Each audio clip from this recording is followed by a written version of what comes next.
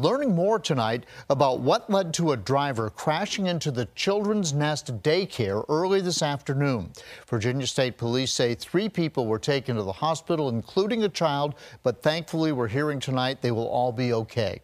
10 News reporter Connor Dietrich shares the moment that families were reunited after hearing a call they thought they would never get. I just had to come get my daughter. That was the only thing on my mind.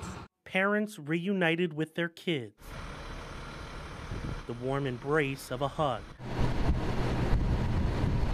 As a car is pulled from inside the Children's Nest daycare in Botetourt County Tuesday afternoon. Virginia State Police say a woman's foot got stuck under the pedals in her car, causing the vehicle to ram into the building. Officials at the scene say four people were injured, three taken to the hospital, one of them being an eight month old child. 10 News was able to speak to the grandmother of the child as she picked up one of her other grandkids. I'm tore up, Yeah. thinking, is my baby okay? Yeah. Do you know kind of the extent of any? They said she's doing all right. Said she's got a cut in her head, but she's doing okay.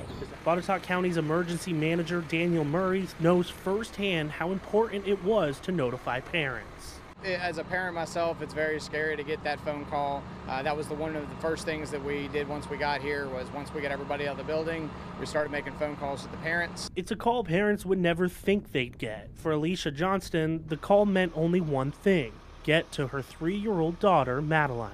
It's instinct. The only thing on my mind is making sure she's safe, right? The moment Johnston finally picked up Madeline, the three year old had a big smile across her face. Uh, really, just joy. Glad to have her in my arms.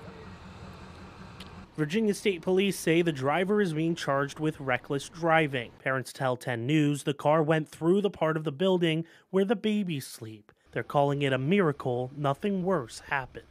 In Botetourt County, Connor Dietrich, 10 News, working for you.